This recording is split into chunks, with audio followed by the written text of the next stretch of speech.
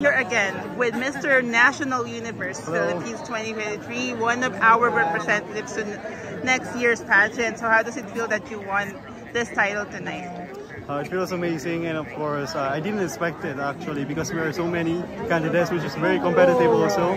My brothers and I'm, I'm so amazed and feeling thankful because of the supporters, uh, my family of course. What was your favorite part of the competition tonight? Actually the best, the, the best part is the Q&A actually but I didn't finish it. Didn't have the chance to finish it but it was my favorite part.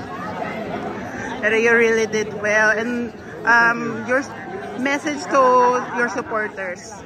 Thank you so much to my supporters, of course to my family from Batangas and to all my friends, my co-workers from True Life UK. Thank you so much guys. And please follow me on my Instagram. Thank you. Yes, we'll follow you on your journey. And once again, congratulations to our Mr. National Universe Philippines 2023. Thank you, and good luck in your international pageant journey. Okay, thank you so much. Thank you.